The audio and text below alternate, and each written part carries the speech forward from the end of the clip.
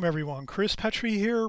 It's fun time. It's a great time to create some interesting paintings. We're going to kind of continue on the um, theme that we've been doing in the last couple um, video series, and that's um, painting in more of a loose style, um, using some, I guess, more amounts of water and paint, um, using some mop brushes and um, just going with a little more loose uh, look, uh, perhaps trying some new techniques, of course. Um, you'll always hear, you know, hear me say like try new things in watercolor, especially when you start doing it a lot and you're working at it, you know, quite frequently. You sometimes get bored just doing the same exercises or drawings or pictures or so forth. So what I always say is if you can um, expand your uh, horizons a little bit and go out and uh, maybe buy a new brush or two once in a while and try it out and see how it works and maybe um, you know tr- try uh, you know pulling some new uh, photographs off the internet that are maybe different artists that you like, uh, watercolor artists that are maybe a little bit of different, you know, have a different technique than maybe someone that you're following uh, at the time being.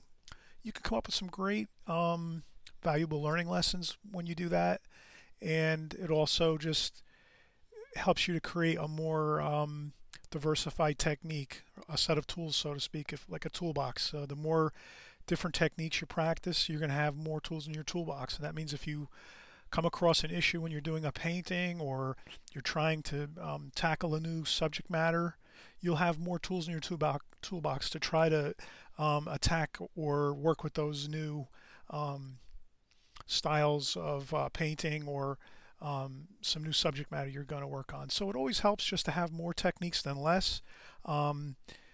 So I always say practice as many uh, tex- techniques as you can, but I think it's good to stick with one main technique really.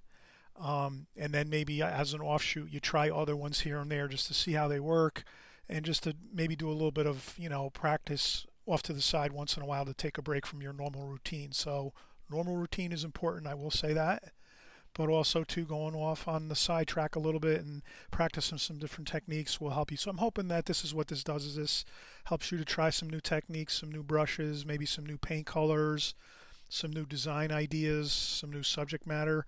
Um, that's what I have always done as a watercolor artist, especially after a couple years or so of really doing it all the time. I noticed that I needed more interesting things to work with to keep myself interested and excited about it. So I'm hoping you'll kind of, um, if you run into that roadblock where you feel like you're getting bored with certain things in your painting, that's when I hope you'll just um, grab a new brush somehow or, um, you know, some new paper, some new subject matter, uh, a new artist's uh, style. You pick up a new style maybe of someone that paints a little differently than you normally do. And I think that'll just all help you to achieve your best results that you want um, in your in your watercolor painting. So let's get right into it here. I have um, a more thicker uh, lead pencil here. Um, it's a um, retractable lead pencil. Staedtler is the brand. Um, actually, this might be something a little different. Uh, this is a Staedtler, I believe. The the, the uh, it's worn off the lettering, so I can't really tell right now. But and then there's also this is a Staedtler um, sharpener. So this is the thicker lead pencil. It's a, a 1.0 lead. And you put it in, you know, you retract this here. So this retracts in and out. Really simple. And then you put it into this. And then it comes out with a nice point. So this is a little bit uh, heavier of a uh, pencil. Heavier lead and it's also just weightier. So here um, what I'll do is we'll, we'll do a nice beautiful um, scene along the shore, along the ocean. And um, I already have sketched out the, the drawing underneath this, but it's a little hard to see with the lighting. So what I just wanted to do is just kind of show you what the sketch looks like somewhat and how I went about sketching it before I paint. And the other thing I would say is I did paint it, or I did sketch it very lightly underneath here. So on this finished watercolor paper, I sketched it very lightly because I don't want too many pencil lines showing through on this particular painting. Although I normally like pencil lines showing through my, my paintings, but for this this occasion, um, that just doesn't really kind of seem to be like the the look because I kind of lightly sketched this. I didn't really contour draw this one. So, um, so essentially I just took a, a photograph offline and then I kind of just got the feel of it and I said to myself, all right, let's kind of get the basic idea of the drawing. So I wanted to get the horizon line of the ocean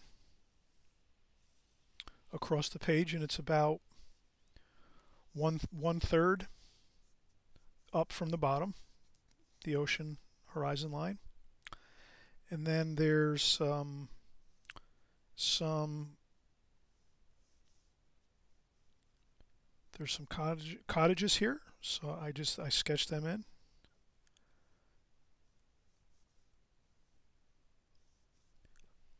and what I'll do is I'll, I'll try to go a little darker here so we can kind of see here. So I got the roof, roof line,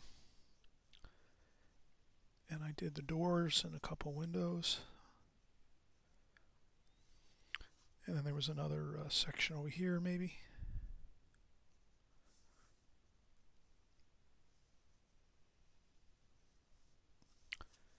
And another couple windows.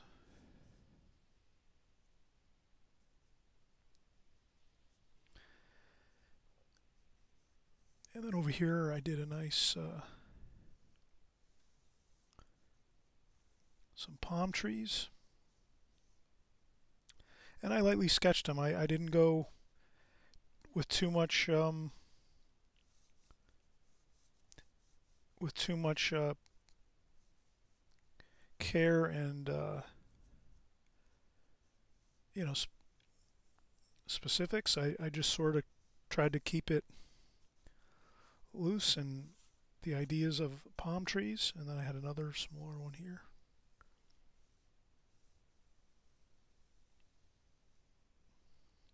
And again, I keep my hand resting on the paper at all times and I tend to work left to right since I'm right-handed. So I would start my sketch usually on the right left side of the page and then work my way across.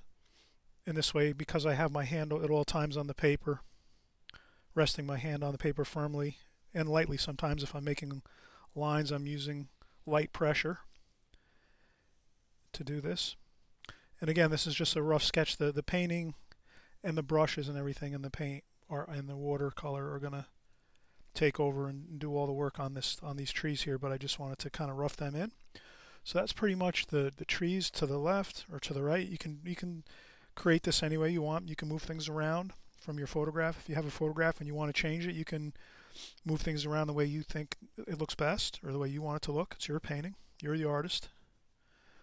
And there's some, you know, foreground here.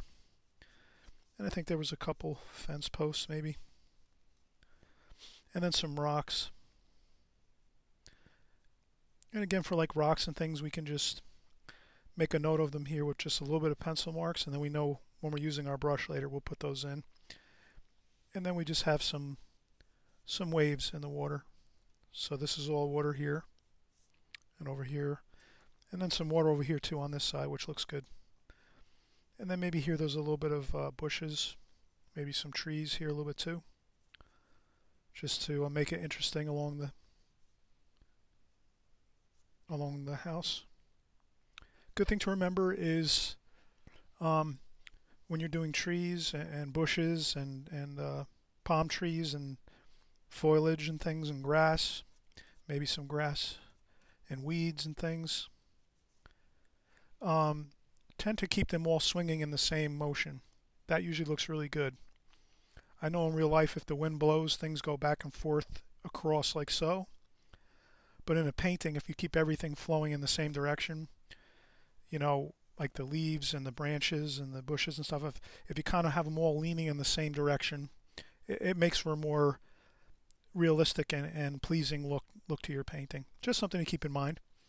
But it's always good, I think, you know, for the for the most part, to have your your trees and your bushes again, and your twigs and grass and things like that, sort of going in the same direction, with maybe one or two, occasionally maybe just a couple leaves or blades of grass going the other way. But for the most part, most of them going in, let's say, the way the wind is blowing in that direction. Okay, so that's how I did my sketch. Only thing different was I did it lighter. I didn't do it as dark here as you can see. So if I lift this up here, you can see my sketch probably somewhat lighter though. Okay, so we we have our sketch done. We take a break, walk away 10 15 minutes, take, you know, a nice uh, break. Let our concentration level build back up again. Sometimes if we work in, for too long of a time and if we don't take breaks, it, it tends to lead to mistakes on the paper, like with the painting or the drawing.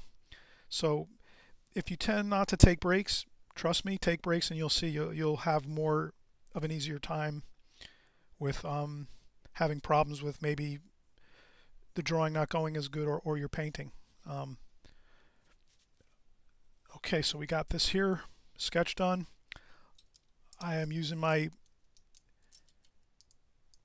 pretty much my, maybe like four brushes here, th three mops, and then a round. So these are squirrel hair mops, and this is a Kolinsky Sable round brush with a nice point. These mops have beautiful points too as well. And that's the brushes. And then of course I'll zoom out so you can see the my setup, which on our last video series we we looked at our setup. So our setup is pretty simple. We have um, palettes and paint on the left, which I say you should do the opposite of this. If you're right-handed, you would have your palette on your right side with your water and your sponge for checking water. So when you have your brush or brush and you put water on it, you tap it on the sponge a little bit, take a little bit of the excess water off, and then you can go to your palette over here on this right side. I do things a little odd here for my own reasons, but it's not a good plan to put your palette across. It's not a good idea to cross over the top of your paper when you're working. You should usually have either, if you're left-handed, everything on the left, or right. And then if, you know, of course, if you're right-handed, it's a lot easier if you have everything on your right. And if you're left-handed, it's easier to have everything over on your left. And working in that fashion is much more um, of a technique that'll that'll keep you from dripping anything onto your to your watercolor paper when you're working. All right, so let's maybe start this here. Again, this is a nice um, So I have some French ultramarine blue and some um, some uh, purple mixture. And we're going to do some clouds to start with. Then I'm going to go in with some burnt umber. Burnt umber, a little bit of alizarin crimson to warm that up just a little bit. More of a reddish color. And maybe a little bit of burnt sienna.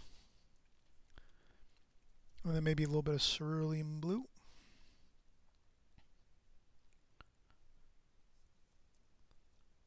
So I'm making sort of a grayish color with a little bit of warmth to it with some, again, burnt umber, burnt sienna, a little bit of cerulean blue for the clouds.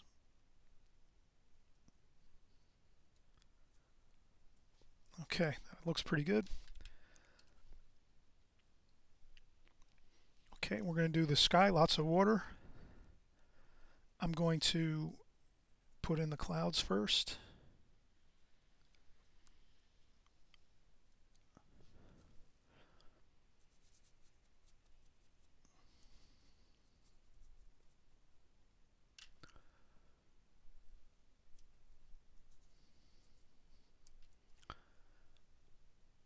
Lots of water.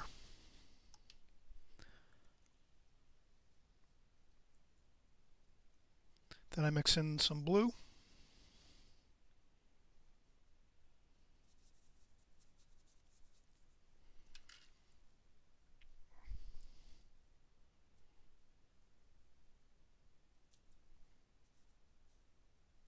Okay, some French ultramarine and purple. Just some touches of blue in there just to... And that's about it. I'm not going to go crazy here.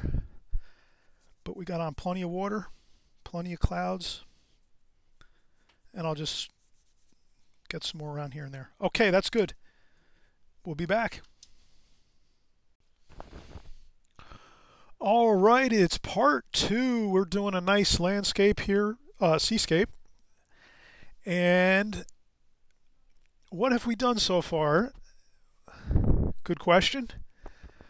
We have gotten our preliminary sketch in lightly with a nice uh, 1.0 pencil, retractable uh, lead pencil. Then we um, went with our first glazing or, or first wash. And um, in some of my recent videos, I've been kind of trying new techniques. As we always say, try new techniques. Why not give it a try? You're, you're going to learn some new ways that the watercolor medium is going to um, uh, challenge you to approach things differently and be more keen and on your toes as you paint. So here we did our first glazing, which kind of is a very much a help to a watercolor artist. If you can do things in glazings, you go with a first light glazing, sky and clouds. Um, then you know you really already have like the base of your painting completed, and then you, now we're just going to go in and we're going to do our middle tones and dark tones or tonal values um, at this point. Since we have our sketch already completed, we don't have to worry about where we're going to be painting. We have our in essence a map of what we have to do on the paper already. And if we're, of course, I'm working from a photograph, and I, for, because of copyright issues, I really can't.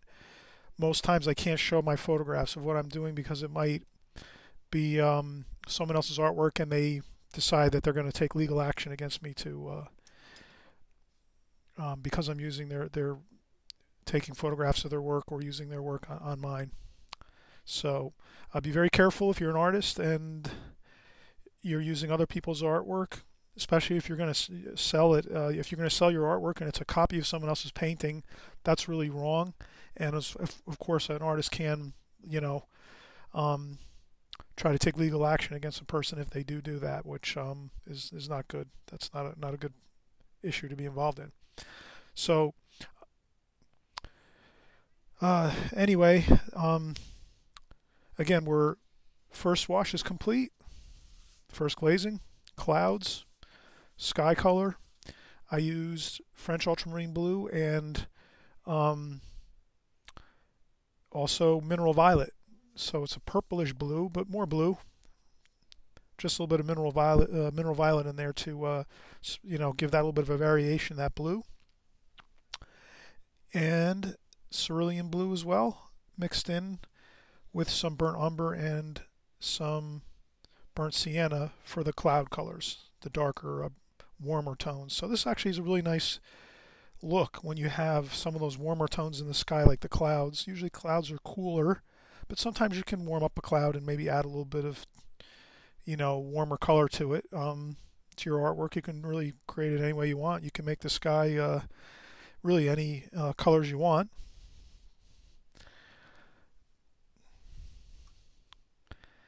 So we're going to start with our uh, our we're going to let's say let's start with our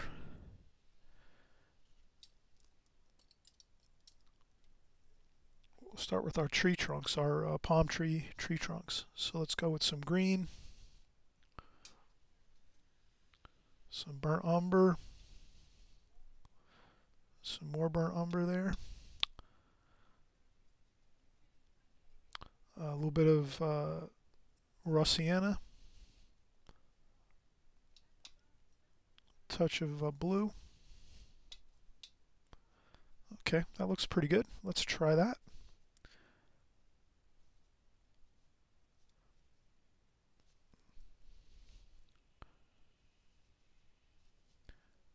Now I'm going to vary I'm going to vari um, make variations in this. So I took a little bit of a tissue and dabbed a little bit. What we wouldn't want to do is just take a big blotch of paint and just take one big stroke and go up and do the the tree. That would look boring. So here we're going to take take our time. Who likes uh, some dry brush? Dry brush is always good. Let's try some dry, dry brush here. There we go. Some dry brush. That looks fantastic. Maybe a a look of um, some shapes that kind of give it a, a, round look, like that. So ba basically, I'm making sort of like a cylinder shape here and there. And I'm taking my time going up, but I want to keep that nice flow.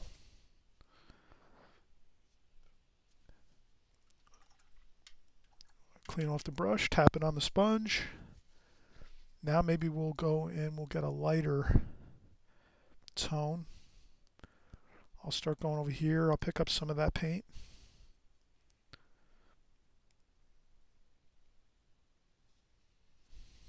A little bit of a lighter tone there, some more dry brush. Okay, now we, I would say if you're painting like this, your first, um, I'm looking at a picture, of course, so I'm looking at a photograph across from me, and in the photograph there's two trees next to each other like this, with the branch, the palm trees on top. So here the best method to do this would be do both trunks first, then do the tops. This way we're focusing our energy now on doing the the trunks of the trees, the palm trees. Take that, dry that off a little, the brush off a little bit with tissue, and then we get some dry brush.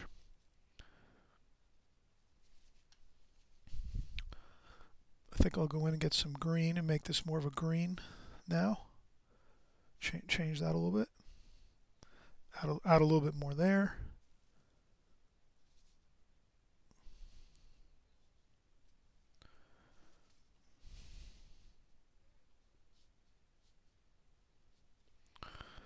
Okay.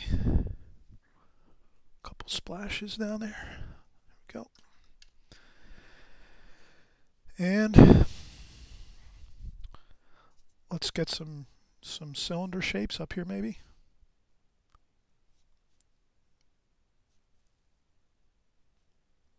See, that looks good if you do those little round cylinder shapes on the trunk itself. It makes it look round. Okay, now we have some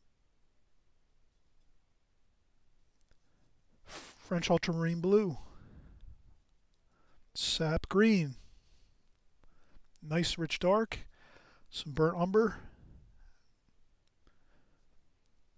and then we're just going to go in and do some nice um,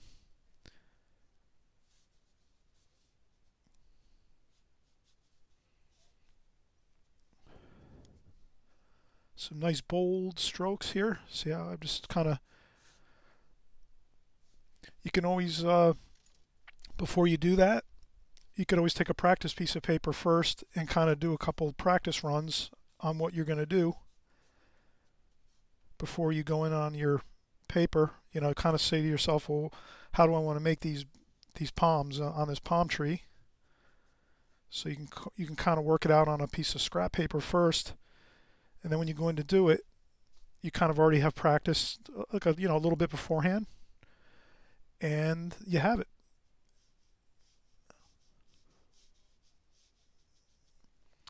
And I see some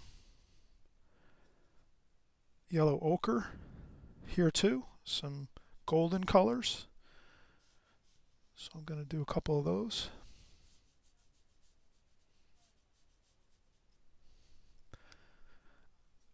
I'm going to keep this painting a little more um, loose and free and I'm not going to spend you know you can spend as much time as you want and you like as you're painting.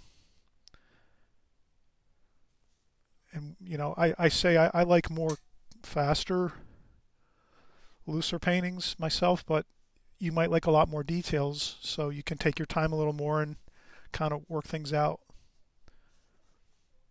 you know more details if you like. But that's pretty good for what I'm doing. I, th I think that's I'm get, seeing that that looks, and I'm just going to kind of quicken the pace here a little bit just to.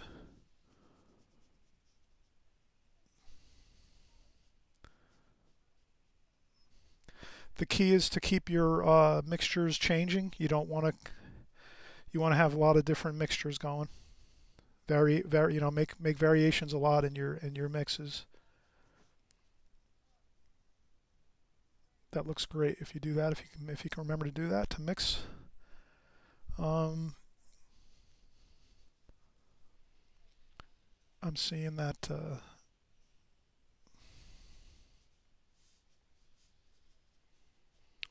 all right, I think that's looking pretty good.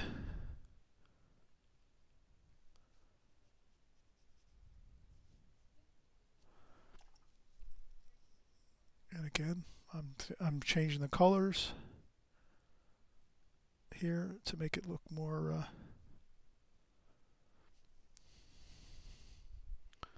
sometimes too you can you can just block in some color. It doesn't every stroke doesn't have to be a, a branch or leaves or something. You, you can always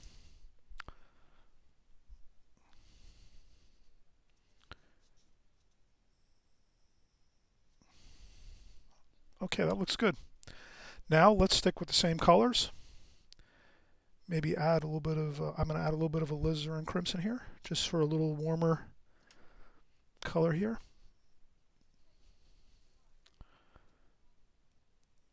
A little bit of uh, yellow ochre. And I think I'll, I'll use that for the roof.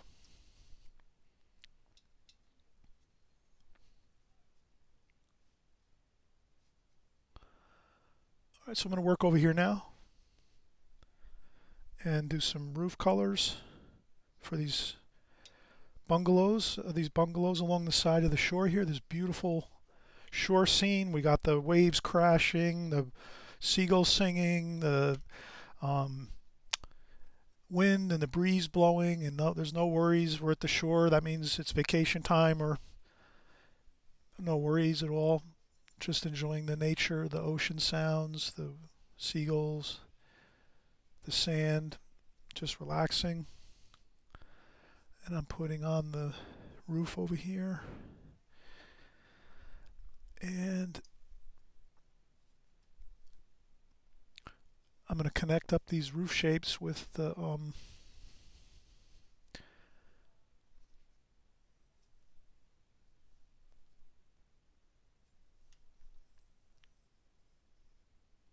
Okay, I'll start another section of uh,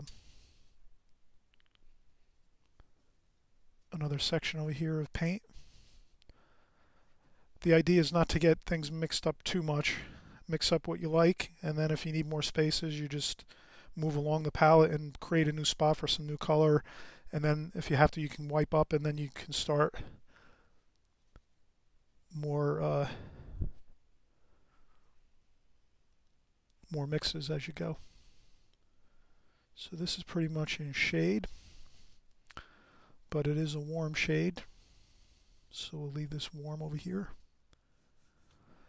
And this will be the light side where the light's striking along this side coming from the right. So these walls over here will be will be white, bright white. And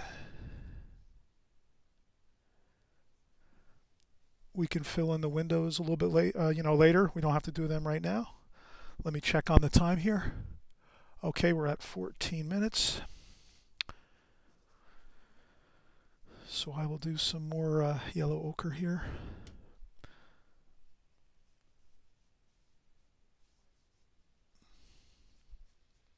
A little bit of dry brush, yellow ochre.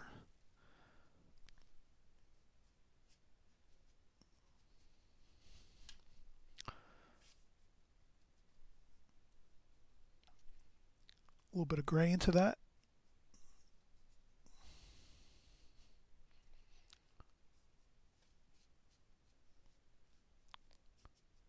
Okay.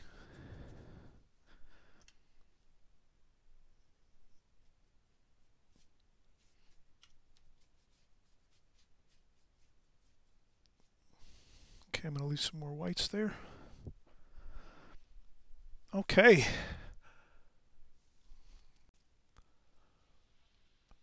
Okay, we're back. It's part three. I know you guys and gals love multi-parts here. Lots of stuff to get into, lots of details. That's where you learn lots when you're uh, looking at the details of things, what's going on. Please leave me feedback in the comments if you um, can think of anything that might be um, more helpful. Like right now, I'm thinking, do I zoom in a little more closer to the paper? But then you're not going to see my mixing and you're not going to see my palette uh, and my, my brush and my uh, water pail and some of these things. So I'm trying to see if I can shift my table. You probably don't need to see the water container and sponge. So if I can slide my setup down here a little bit. Sometimes I get lazy and just don't want to move stuff around. Let's see here. All right, that's a little better.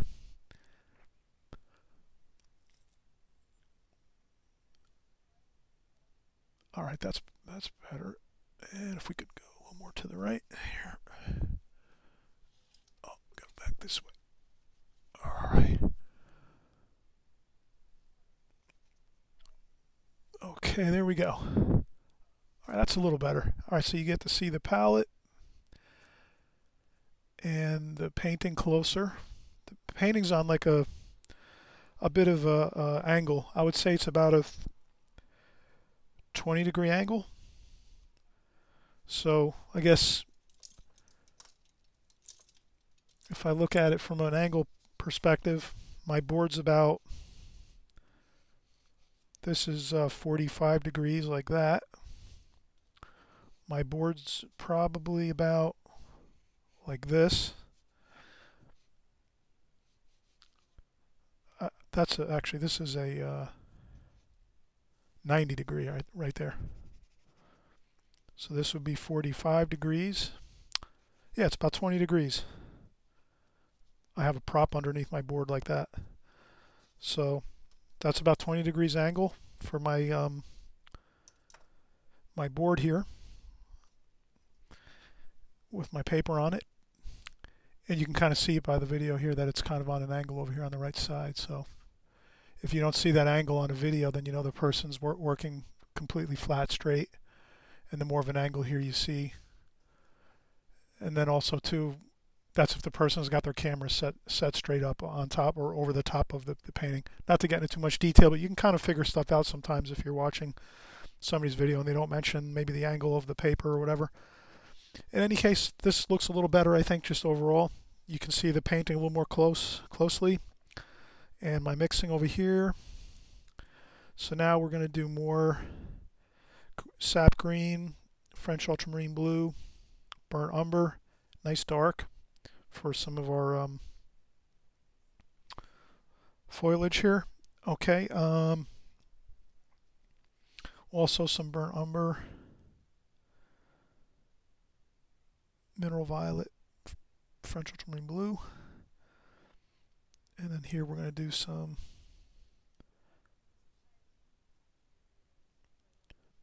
so here I'm going to do some loose trees just um, like that. So those are the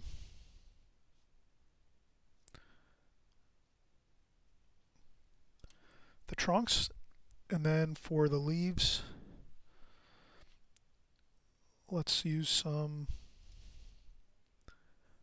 yellow ochre too. And then here when we do our leaves we just have fun. We're thinking trees upward strokes maybe like this. Wind, wind is going this way. So I'm going to make my leaves flow that way too. I just want to make sure I'm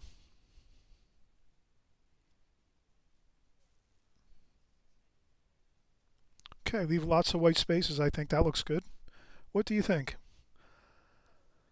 Do the white spaces, uh, the light spaces look good between the leaves, or would it look better if we just went with just a large block of color like this. I think I think this looks better, leaving some light between the leaves. So I try different things. I always try different things, see how they look.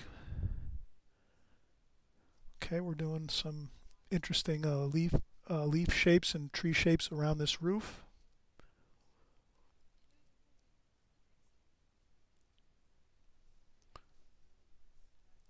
Okay, we'll mix up some more French ultramarine blue, sap green, burnt umber, burnt sienna. And then we can darken up a few spots within this on the under, some of the under portions where there's less light. So the light's coming from the top.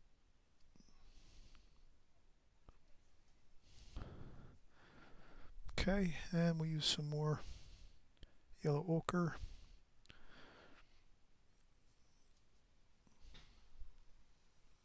Go, and we have some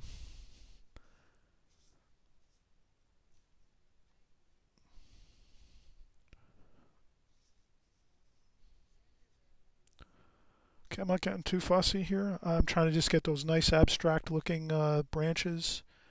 Maybe some more over here. Some of the lighter yellow ochre. Maybe I'll try to mix over here a little bit. Looks like it's kind of dark. And uh, I'm probably going to just have one or two branches over here maybe just to kind of that. Okay, that looks pretty good.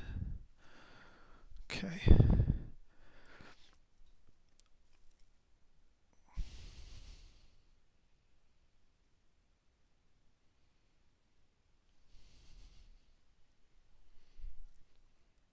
A little bit of a splash or two.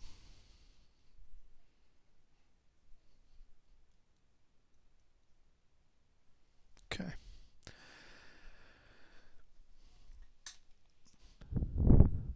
Okay, so in essence here what we're trying to do is maybe make a nice kind of like pathway of nice darks, spots of dark colors kind of going through the painting. So we'll continue to add more darks. Right now we're we're going to um,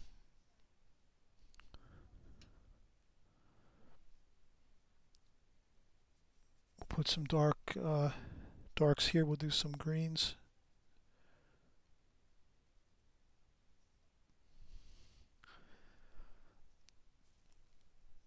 We'll do some shadowing.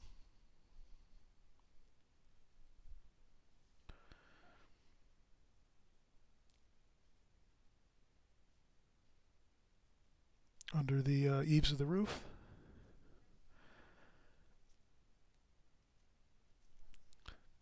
Go a little darker there.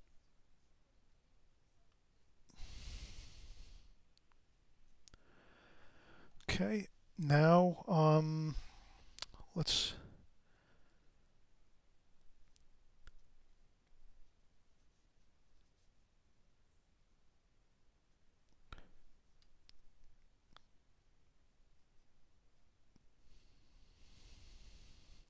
French ultramarine blue and mineral violet, like purplish.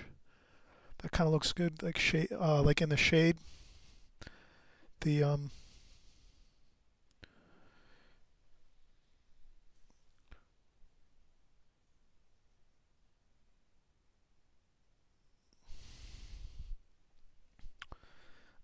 And then we can go with some more dark French ultramarine blue, burnt umber.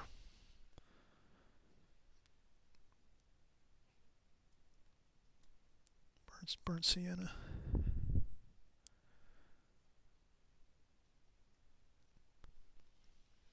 And maybe we'll do some. Uh, so I wouldn't go back in where those wet shadows are. That that would be a problem. That would kind of smear and, and blossom and So here we'll do the, we'll just do some couple windows quickly.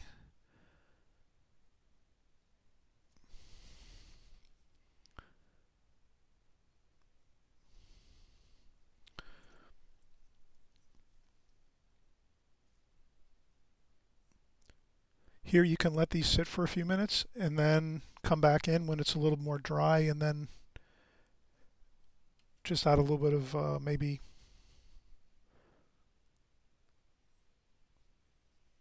I'll make that a door. There. So as that dries a little bit then you can kind of add more water and finish things up a little bit this is a little bit too wet where the um, shadows are because I want a couple windows over here I'll let, let that go for now check our time Let's, um, again, we're sticking with the same colors you'll notice. Um, I haven't really used many, I haven't used a lot of the colors of my palette. I've used actually a limited palette, really, in a sense. I've used essentially a limited palette. You hear that term a lot. So it just means I'm really using a limited amount of paints. I'm not really using all of the paints. I'm just using a few. So I'm just using basically sap green, French ultramarine blue with just a touch of the mineral violet, and and some burnt umber and burnt sienna and then some yellow ochre and that's pretty much it so now we'll some French ultramarine blue sap green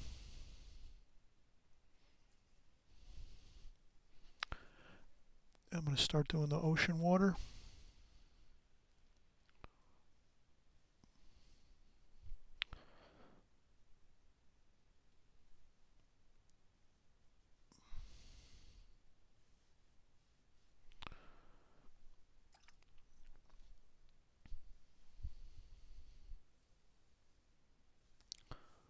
Okay, so I'm doing the water. I think green looks really good in water, so we're going to do some greens. Again, this is your painting. Here I'm just doing the way water would kind of flow. Back and forth with the brush. I'm just doing the same thing with the brush.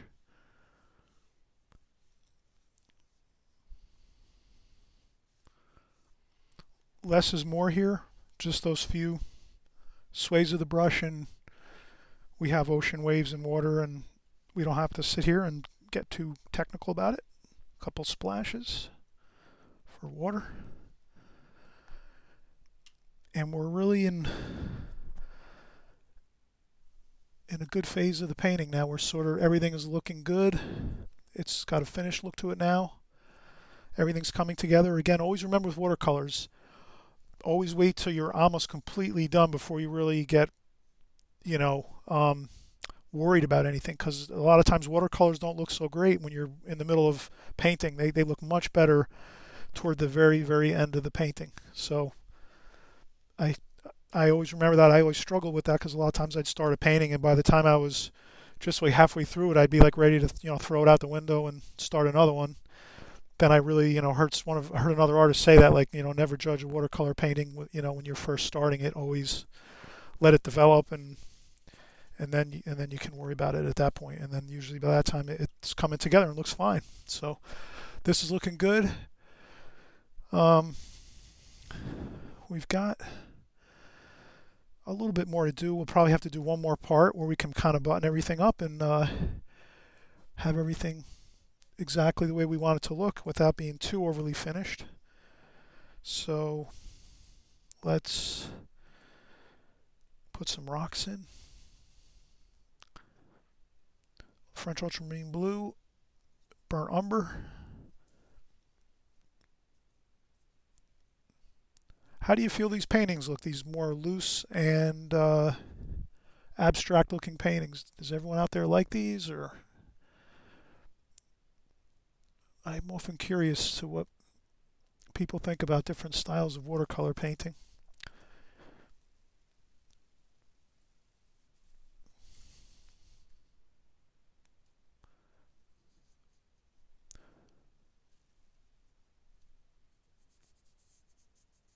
Okay, and then I just connect those up a little bit. And some more lines just to kind of, and then maybe some shadowy lines over here just a little bit coming into the painting on this side. We don't know what's over there, but shadows are shadows.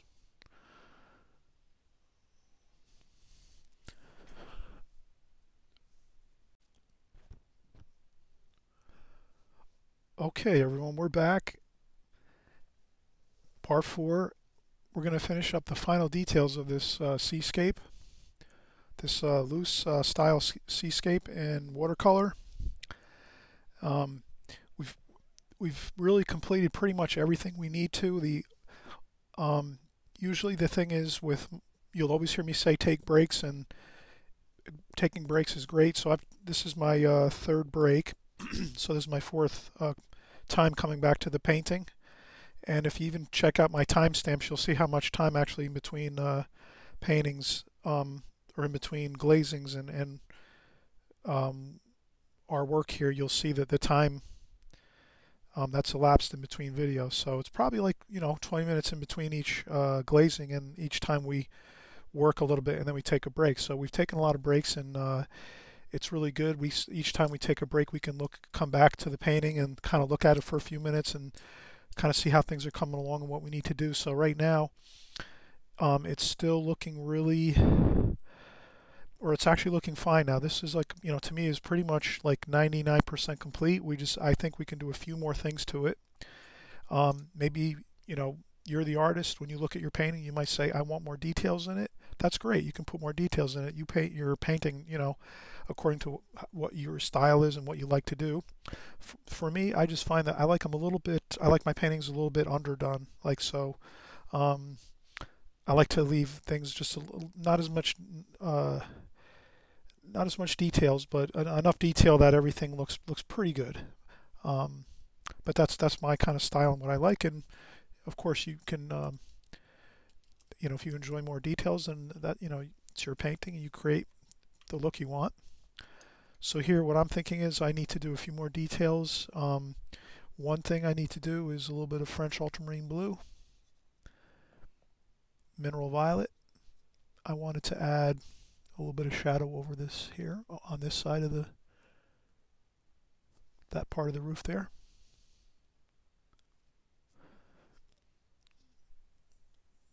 And a lot of artists call this pu pulling the painting together.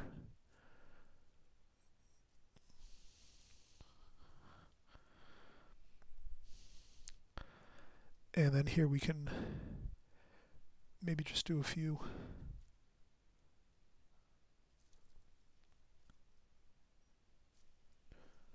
so there I just did a couple quick little lines just to um,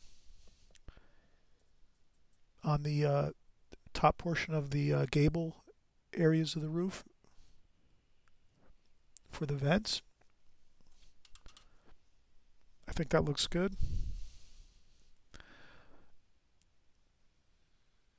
Again, there might be a chance of doing too much detail, so I want to just kind of, that's to me is fine, just a couple parallel lines just to show that there's a, a little bit of um, vents on the top of that area of the roof. Um, I thought maybe a little bit of a line here just to kind of show the the front.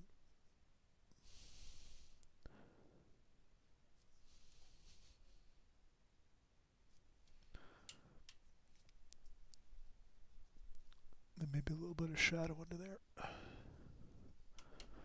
Alright, so that's good for that portion. Shall we do some fence posts? Should we fire in some fence posts? Let's try it.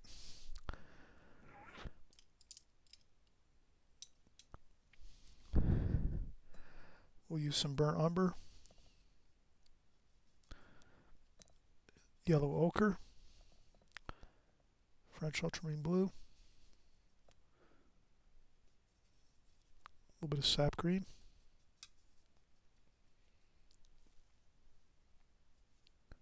Okay, everything is going this way, so I would say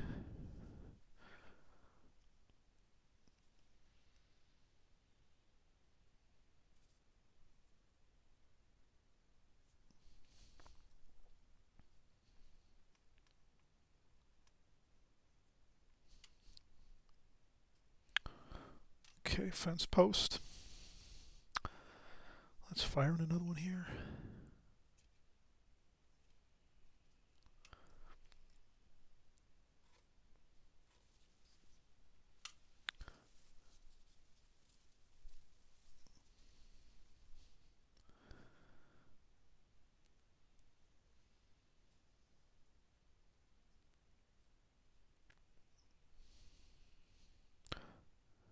So I'm just doing these real, you know, just one one stroke and that's it.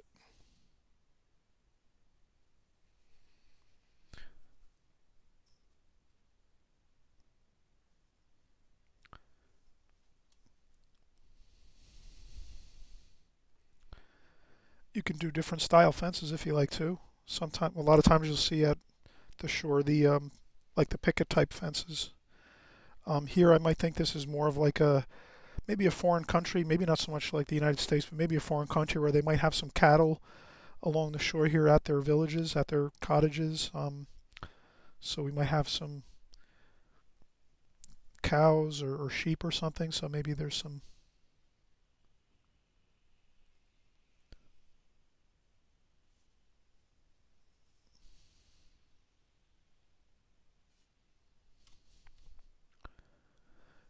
and again I try to vary the vary the color a little bit. Then we'll do some more dry brush. Here I don't want to block I want to leave maybe this one open so we're not sort of blocking the viewer.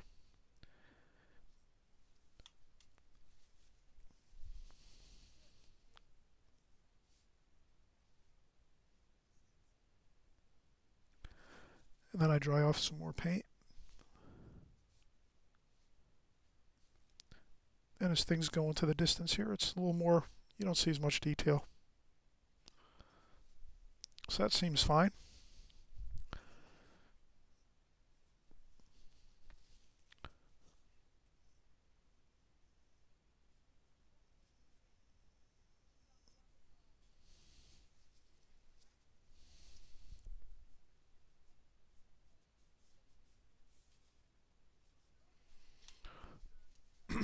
Okay, that looks pretty good.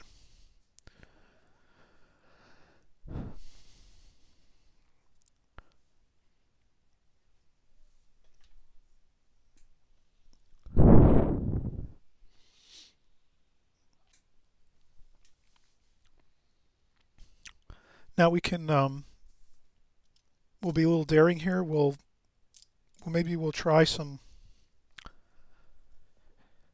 I think I think we'll leave it this way. It kind of looks good with the limited palette. I was tempted to kind of start going in with some different colors now, but this really does look really good with a limited palette. The only daring thing I did do is I added some Viridian green here in the ocean, over here in the ocean and over on this side.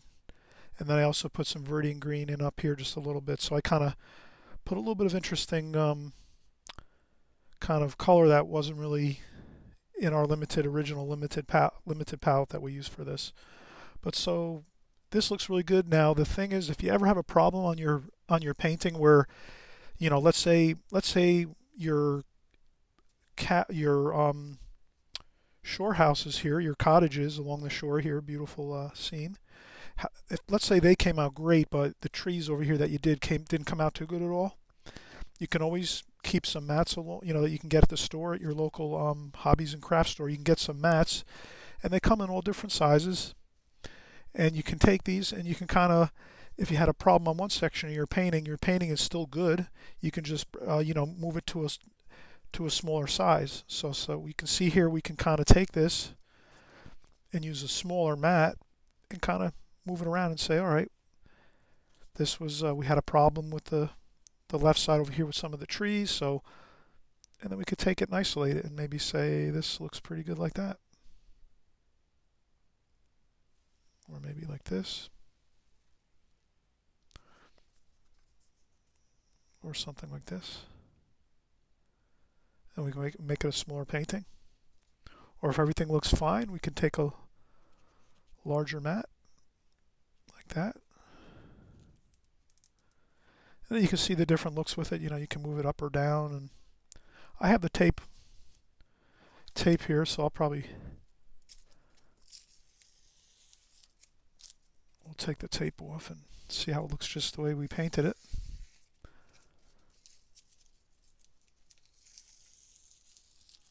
I think this looks pretty good. It's it looks um, finished and loose and uh, good color a feel for the look of the ocean and the seascape.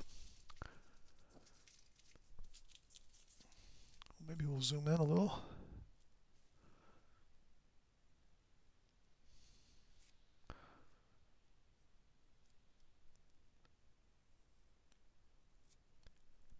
And I always say, try to feel like you're there in your imagination when you're painting or when you're getting ready to, to do the painting or while you're painting it. You know, you might take breaks and say, I'm I'm going to paint like one part today and then another and then another glazing tomorrow. And so you can work in as fast or as slow of a pace as you want when you're doing your paintings I think. Um, depends how much time you have. I know some of you might be very very busy and you can't really sp spend two hours at one time doing some you know doing a painting. So you kind of can do it at your own pace. Um, but I find like thinking about the ocean, try to like see yourself there, hear the ocean waves crashing, the seagulls, you know, chirping and flying around and feeling the wind in your mind. Try to try to feel the place and think about it and concentrate on it for a little bit here and there as you're doing your painting. And it kind of, when you do that, I think it helps um, the process of the painting. Like it, uh, it has like a magic to it when you're when you're painting it and uh, working through it. Um,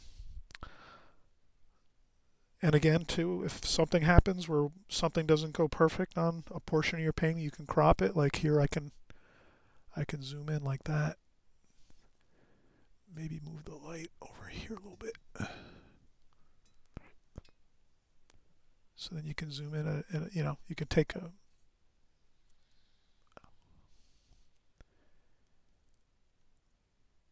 you, know, you can section things off. I'll bring my camera off here and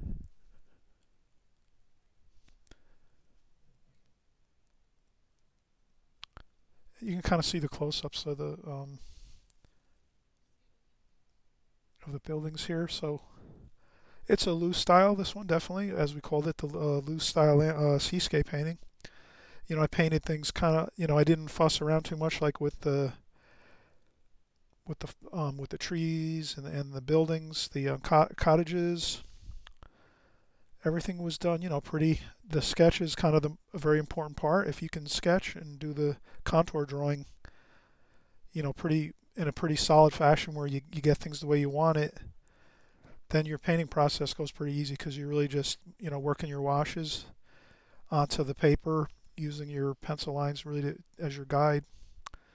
And then it's just more of a game of concentration on your on your colors and your tonal values. Like you know, here you want to keep your you want to keep the um, foliage and everything dark, the dark green. So that was a French ultramarine and sap green and burnt umber, and also a little bit of uh, yellow ochre for the for the for the greenery here for the the palm trees and the other trees.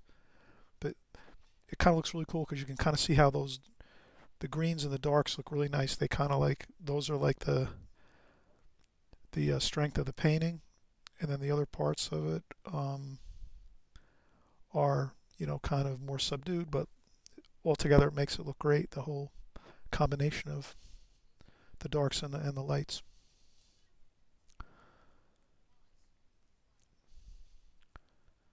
And uh, I think this looks like a bright, you know, bright sunny day at the shore. And okay, we'll sign out for now, everyone. Uh, enjoy your painting. Um, knowledge is power. Keep learning. Um, and we'll see you on the next video. Bye-bye.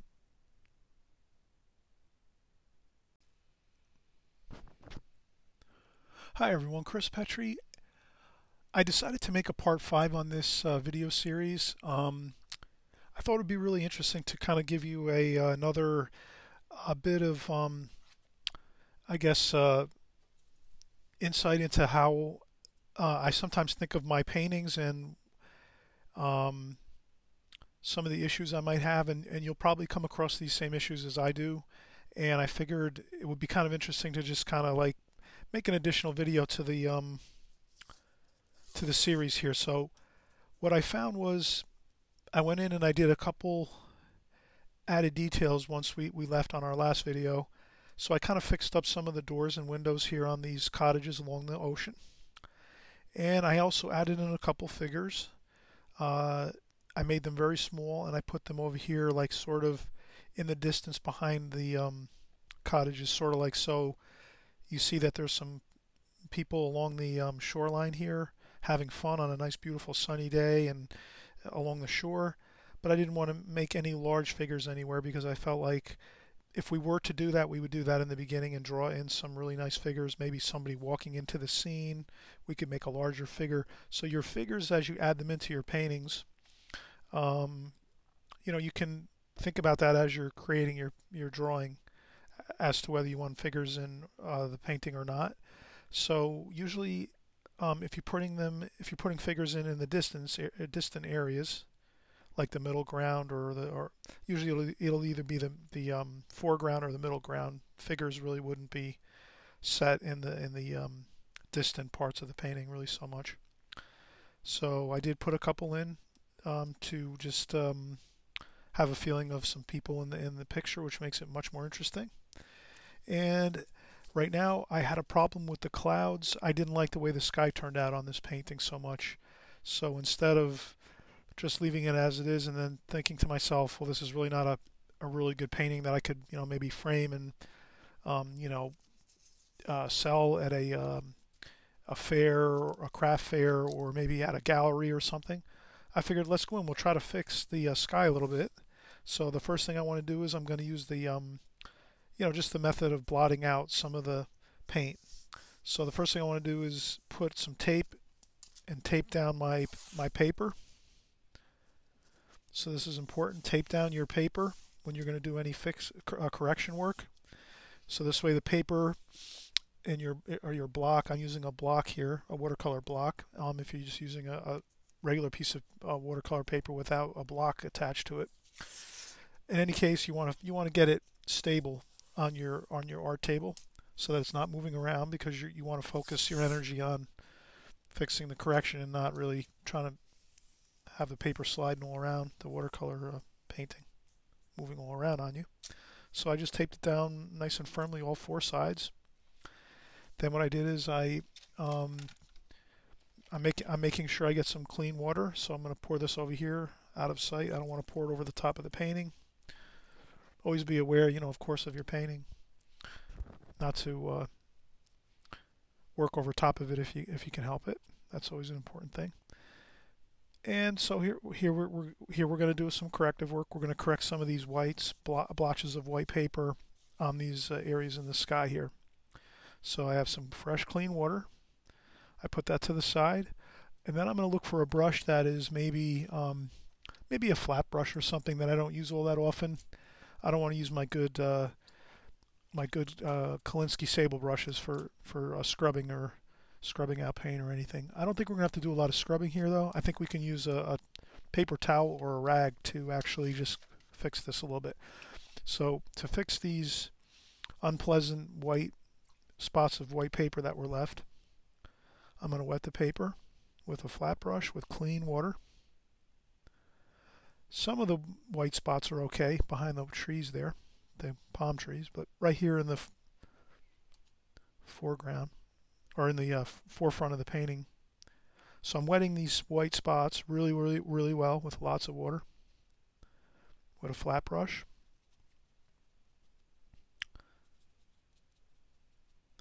Being very careful not to get anywhere near that green foliage there. I don't want to have that uh, working out into the sky so much. And then over here, I can leave a little bit of the white spots over here. That's, that's not a problem. I think it's more or less over here. All right, so I got those large white spots covered with fresh, clean water, and then I'm just going to let it sit for a few minutes and let the water soak into the paper and the paint.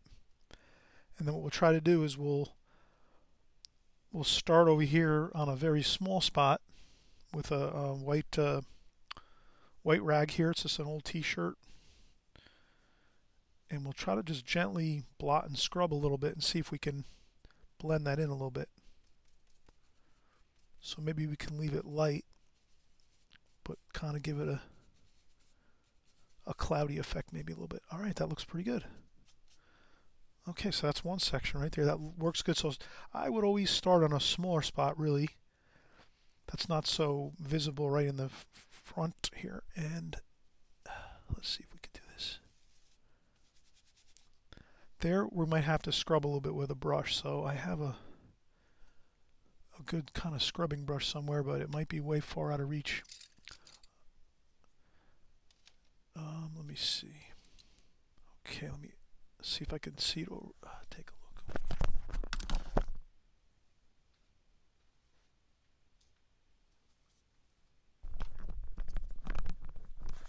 Okay, I found one of my scrubbing brushes which I use to make corrections with, and it's it's a nice. It's kind of got a just like a. It's almost like um. It's almost like a regular round brush clipped clipped off, like a, the end of it clipped off. So that's just.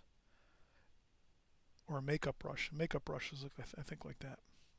So it's like a flat, tapered look. And this is a Winsor Newton uh, Regency Gold 535 3 eighths.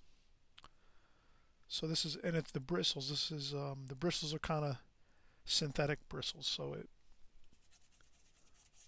so I'm just going to kind of scrub.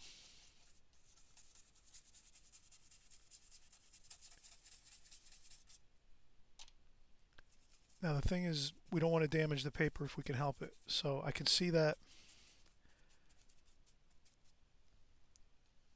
we're going to go in and get some paint. So I'm going to use the same colors we used before, except I'm going to go with just a lighter version of the the uh, mineral violet, which is purple, a purple color. I'm going to use that and some cobalt blue and maybe a little bit of French ultramarine blue. I'm going to see if I can diffuse some color in there. Okay, that looks pretty good. That's safe to go in there. So I'm just dabbing in the paint into the paper.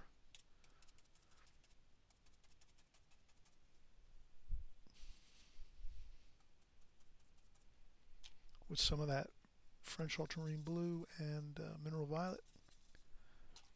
And a little bit of burnt umber too. I'm going to try to mix up the same as we did before to mix it up a little bit. And once I do this, then I'm going to go back and blot and see what happens. This is usually, you know, this fixing, I probably need to brush up on some fixing techniques. I haven't really, a lot of times if, if I don't like the way a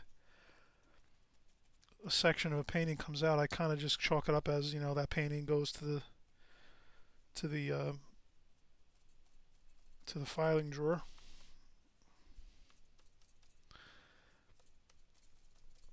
All right.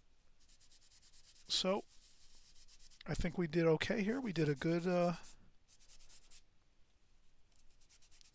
and now I'm just kind of giving it some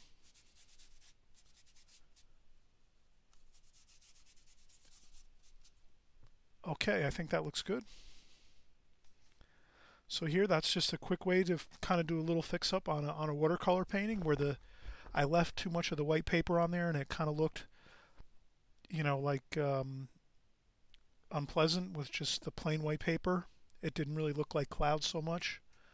So if you have a, a painting or two or three or so or four, or you might have a lot of paintings around, maybe you put to the side and you said, I don't like it you can go back in and make corrections to your watercolors. You just have to be very careful. Take your time with it. Do a little section first, see how it comes out. The thing I will say is if you're using top quality paper, you can do correcting and it usually goes halfway decent to fairly well. But if you're using a less expensive paper, maybe, um, that's going to be a little more difficult to make corrections on. So um, I, I would say if if you have paintings that are on good paper, like finished paintings, you might have tried to do some finished paintings for a gallery show or something, or um, a fair, craft fair or something like that, or for a gift or something that you're going to give to somebody, and it's on good paper. It didn't come out so great. There's a couple spots. You can fix those spots probably. You can try to, if it's not too bad, by uh, using this technique.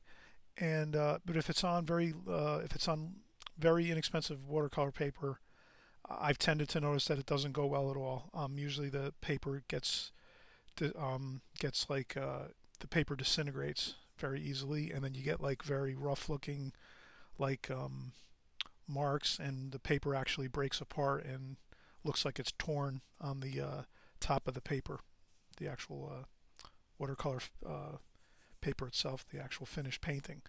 So in any in any case, I thought this was just a nice little added touch um, to our video series here, making a few little corrections, and I think this correction came out pretty good. Um, definitely improved the look of the sky, and um, overall, I think this is um, a fun painting to do to try, and you'll also have a fun time just uh, imagining a, a, beautiful shore scene and the uh, the fun and uh, the enjoyable time uh, being along a, a nice, beautiful seascape. Okay, we'll see you on the next video. Bye bye.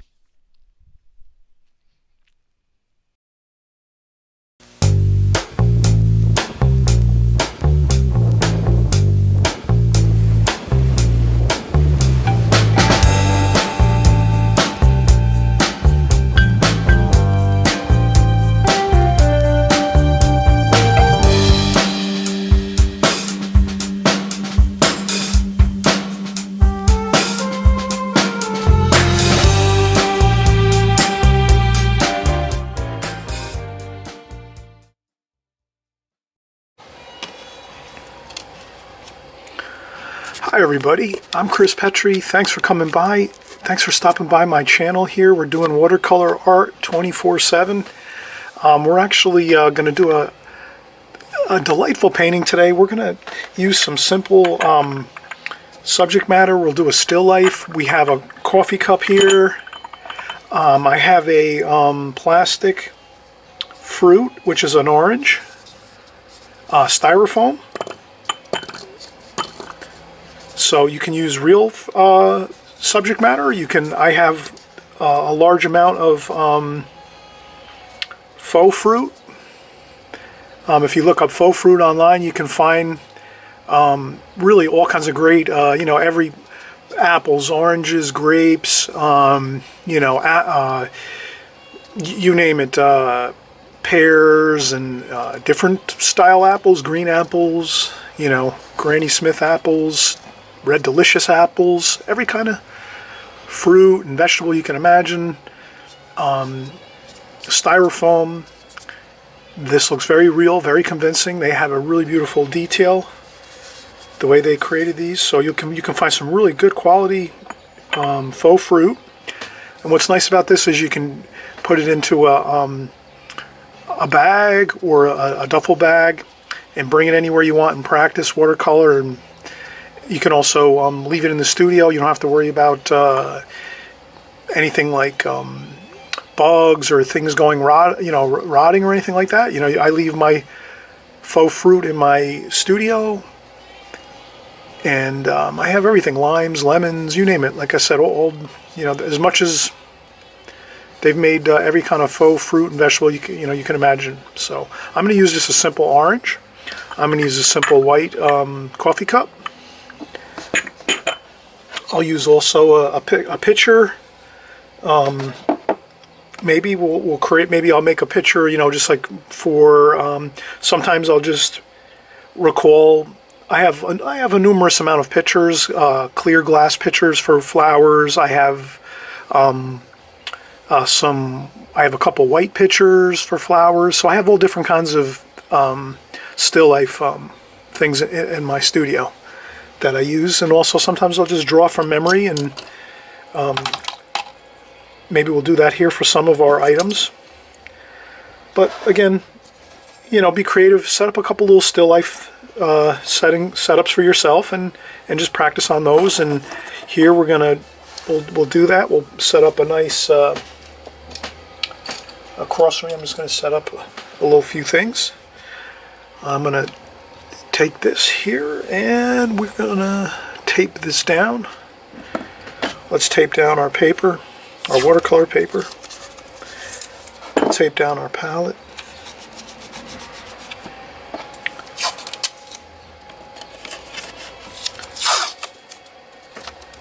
Okay, now what I'll do is I'll tape this down first here.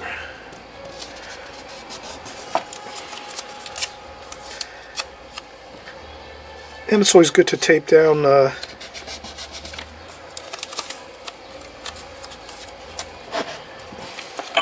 our watercolor paper and then tape tape off our sections that we want to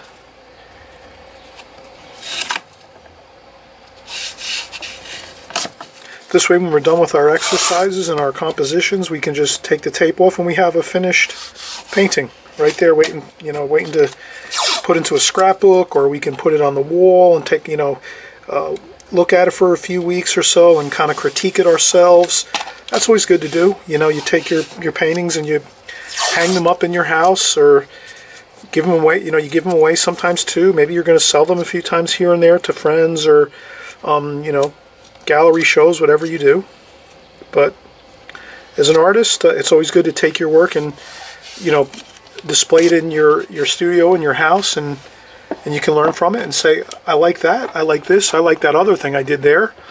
And maybe I'd like to do this different next time. I think I could make it look better in this section or that section or so forth. So always um, try to improve a little bit each time and also enjoy the victories that you have when you're painting. So here let's go in and we'll do a, just a simple composition just so we can get some cool ideas here of so I think I'll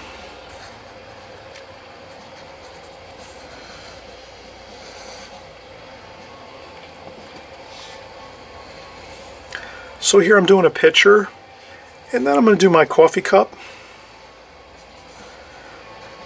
and the saucer.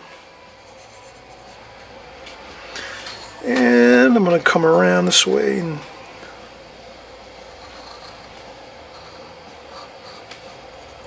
and we'll do our orange here. So this is just a um, fun composition. We're trying to um, and maybe we'll have a little bit of fun design on this. We'll do some blue, blue ornamentation on this. And we'll do some more uh, design here too, some uh,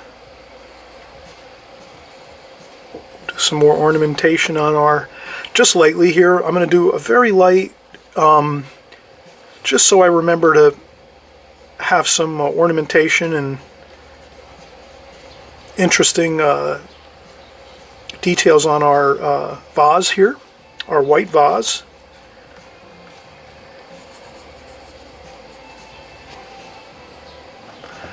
In this exercise, we should keep things loose, keep things fun. Uh, maybe we'll have, we'll pretend there's a little plant over top, over top of this here, some flowers. Maybe there's a, a larger vase over here and there's some some leaves and things here. So we'll just make an indication of that.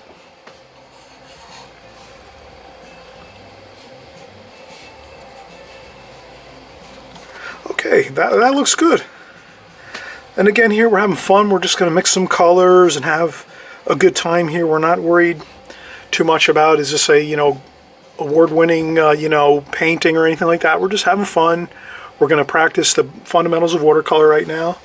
So right now we just did our contour drawing. We went in, we looked at our subject matter. It could be from a book, from a picture.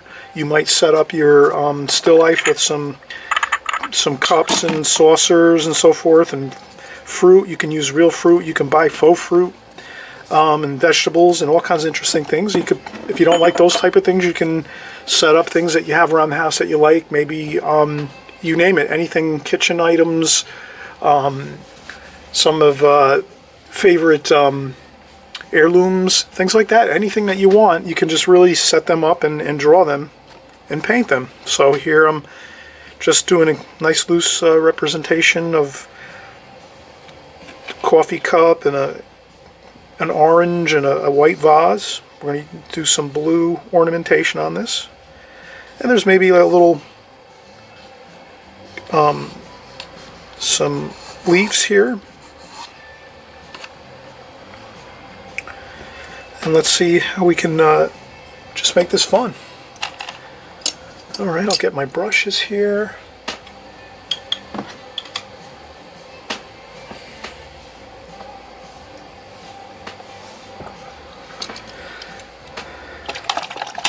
Okay, and I have uh, fresh clean water.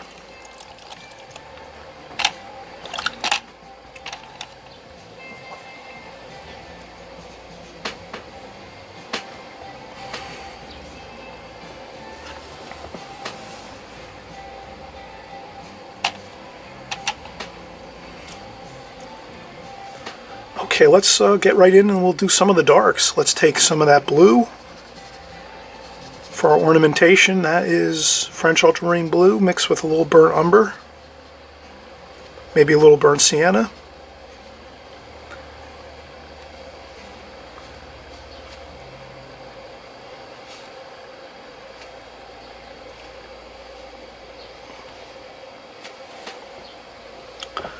Okay.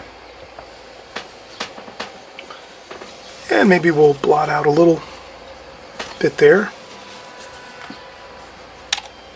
And maybe we'll go in with some sap green and some olive green. And we'll get a little bit of that leaf uh, shape in there.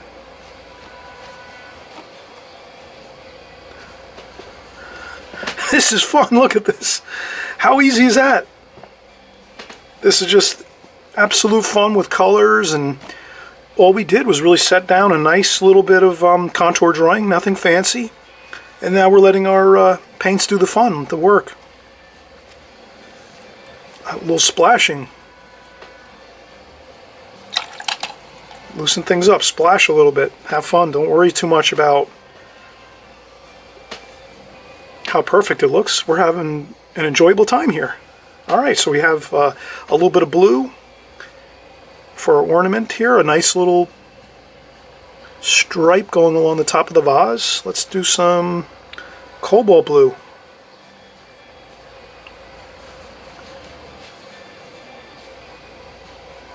And just a little flicking around of the brush to pretend we know what we're doing. There we go. Another great little bit of design. And how about here? Maybe a little bit of uh, mineral violet we'll go over here, mineral, mineral violet, purple, mixed in with a little cobalt blue. Change up the color a little bit. There we go, another little flick of some detail, and we got it. There we go. And a little more here, maybe some more in detail on this uh, beautiful vase here. And again, we'll go right into the French ultramarine blue, burnt umber, burnt sienna. And let's do a little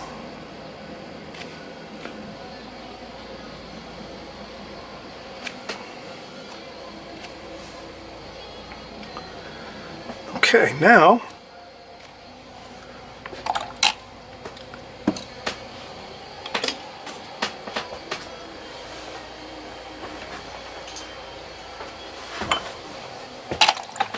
We'll use our uh, needlepoint brush.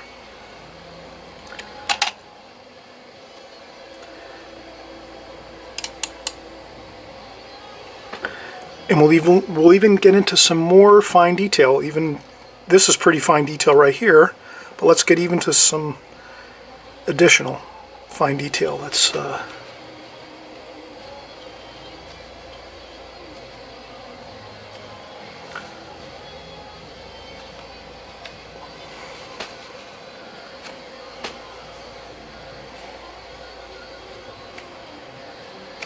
Perfect.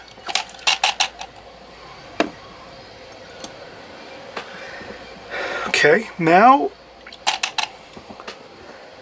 let's take a little bit of that green that we have mixed here and a little bit of the blue and purple over here and let's do some shadowing. Maybe a little cerulean blue too. A little bit of uh, yellow ochre too, mixing a little bit of warm.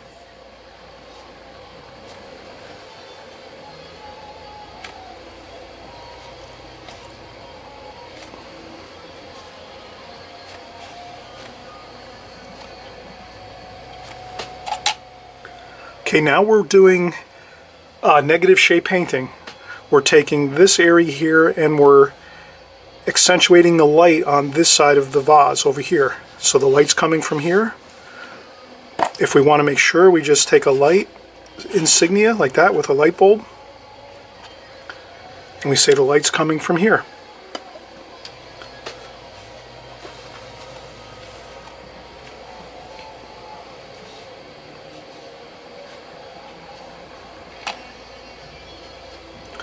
Little bit, a little more of uh, yellow ochre, just to uh, warm up that cool green and blue that we were using. Okay, now we're at the bottom of the vase, which is in shadow.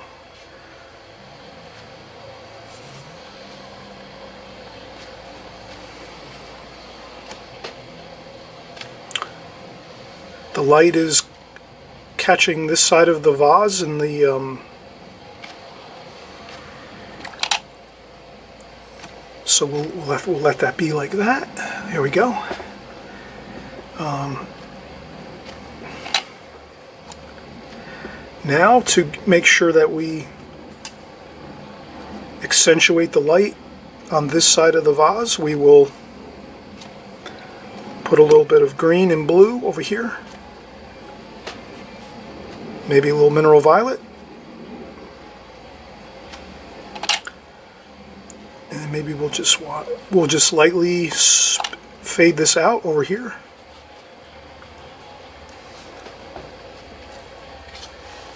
But this is good. Make sure we do a little bit of a darker dark over here. Again, negative shade painting. We're painting around the subject to make it appear. So if we didn't paint this tonal value, this little darker, darker over here on this side of the vase, then that part of the vase would not look um, as if it's there. So we want to make sure we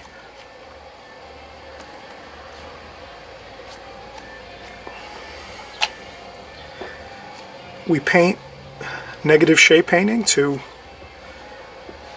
keep our uh, our subject matter looking real let's do our uh, orange.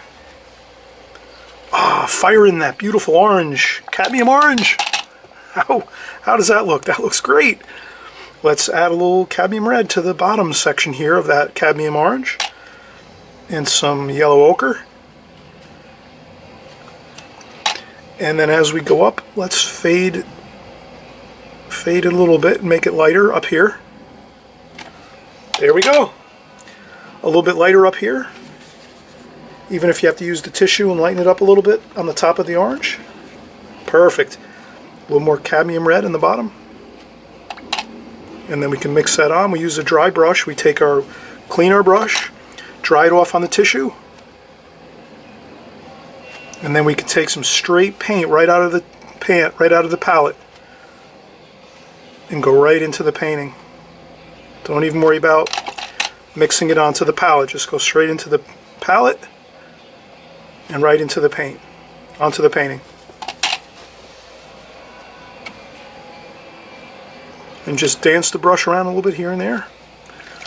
Rinse off the brush again, dry it really well with some tissue, and then you can just, fit, you know, move the paint around a little bit. Rinse off the brush again, dry it again with no paint, no water, and then just And then you get a nice sense of light on the top of the orange. Plenty of darker tonal value on the shadow area here. It's catching, the orange is catching more light on top. And then let's go in, we'll do a little bit of uh, shadowing on our coffee cup.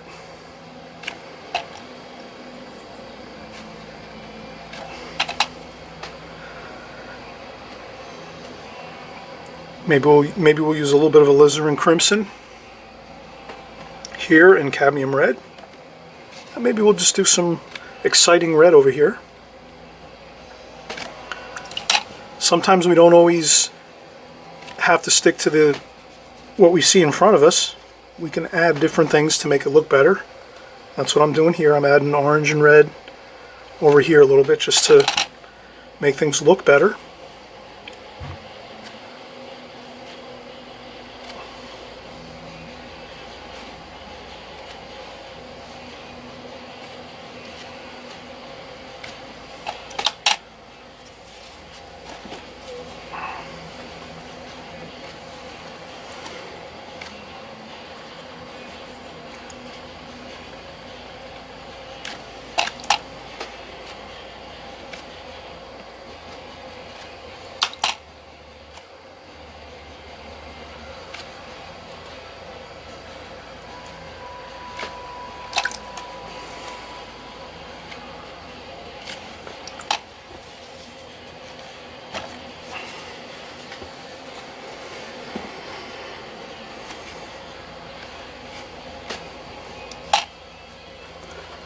And I'll go in with some uh, French ultramarine blue again. A little bit of green. A little bit of shadowing under there.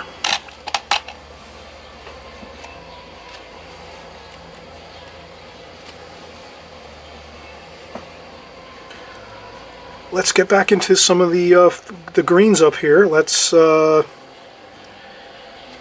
change our color a little bit, add a little more burnt umber, or add some burnt umber to that uh, green, which would be sap green and olive green, just to give us a little bit of a different look.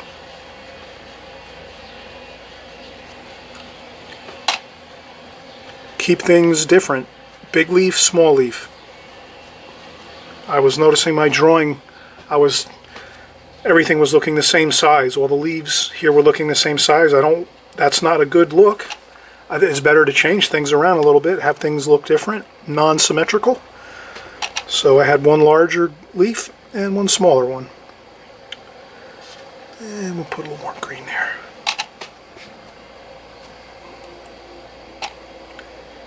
And some cerulean blue with some of that green.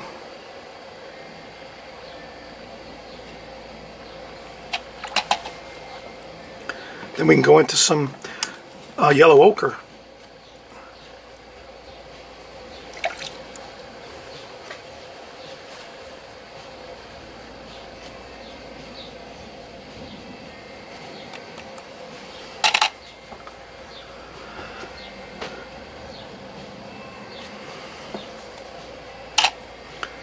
Then we can go back, we'll get our, we'll pick up our needlepoint brush.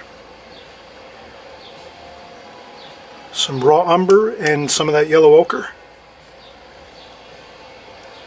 And dance the brush around a little bit just to get a little variety here.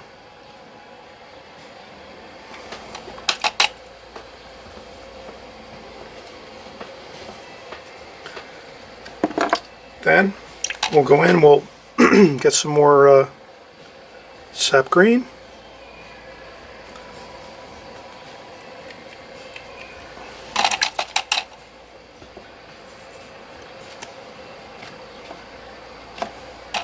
And again, negative shape painting. I'm going to paint around that handle a little bit.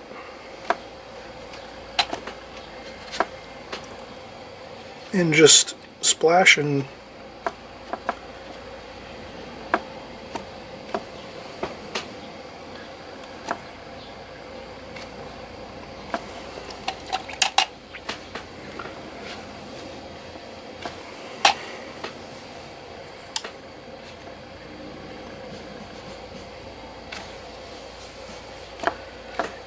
paint in that edge of this vase here. Maybe a shadow over here a little bit. Another little splash over here.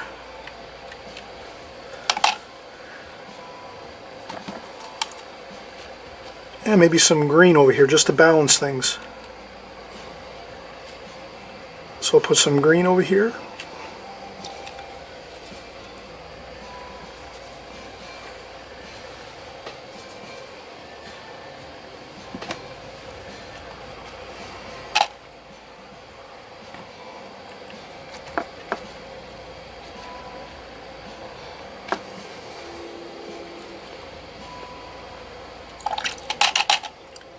All right, that is it. That is how simple we can have things in watercolor.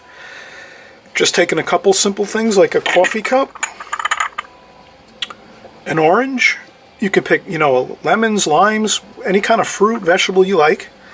You maybe put down a pitcher, maybe some leaves, some shapes of leaf forms next to it. You don't necessarily have to draw a bouquet of flowers. Here you could just put something nearby just to, so you have a feeling of like this is near a bouquet of flowers or some a plant, some potted plants.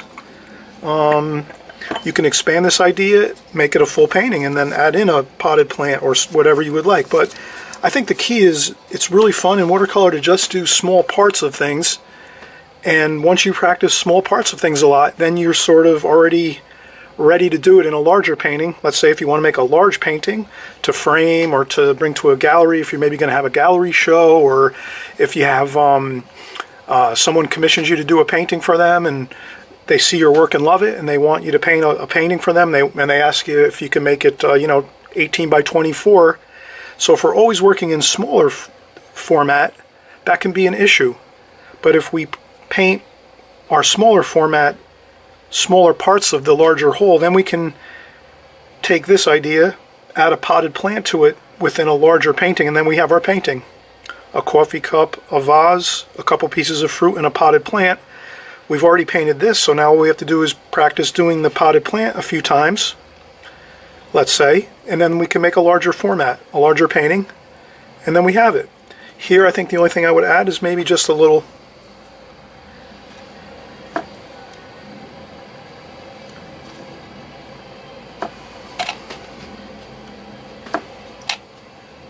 maybe a little color just over the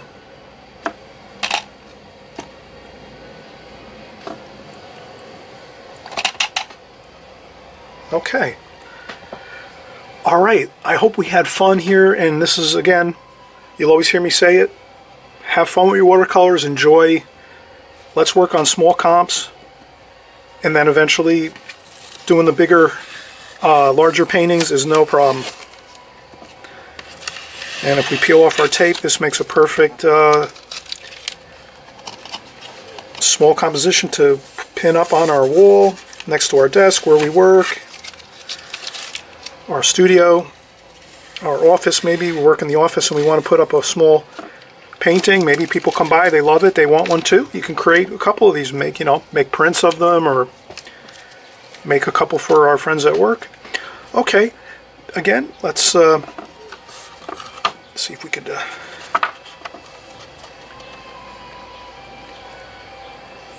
as you can see nothing too fancy really just uh, very loose very free getting the basic shapes drawn in and then just you know putting in the color and really we used a lot of negative shape painting here. We painted around this white vase quite a bit. The top around the handle inside of the handle. So we did a lot of negative shape painting here, painting around an object to make it appear. And as well over here on this side of the vase, we added that paint here to make this side of the vase accentuate that so that we can see that clearly. And lots of good color and fresh color and we had a lot of fun doing it. Alright everyone, we'll see you on the next video. Bye-bye.